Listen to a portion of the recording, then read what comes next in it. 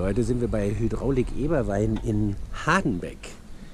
Eine Hydraulikbude, wo schon viel gemacht wurde. Der Bagger hat eine neue Puppe gekriegt von dreieinhalb auf viereinhalb Kubikzentimeter. Sie soll bewirken, dass er schneller fährt. Und ich bin jetzt hier zum Probebaggern. Wollen wir schauen. Die Frage ist, fährt er schneller und behält seine Baggerleistung bei?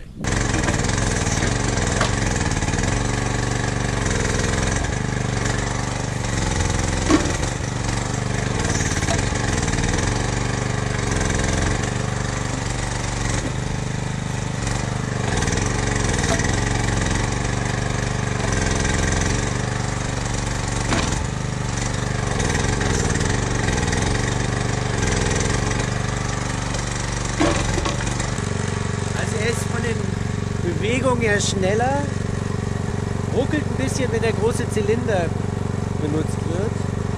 Eigentlich gar nicht so schlecht.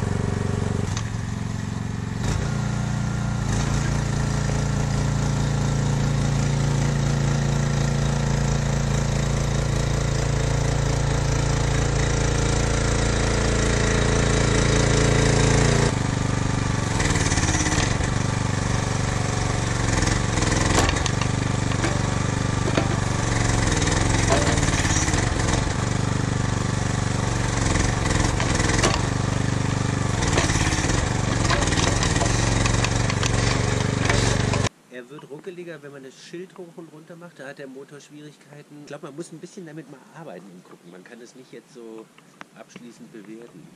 Ich glaube eigentlich ganz gut,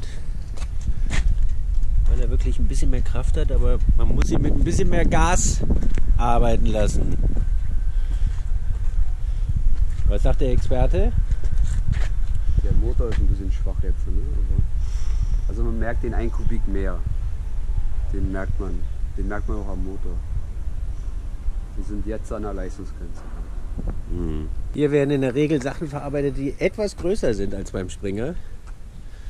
Riesige Hydraulikteile, die haben, da drin sind Drehbänke, alles, was das Herz begehrt. Also ich lade auf und probiere die neue Pumpe einfach mal im Einsatz.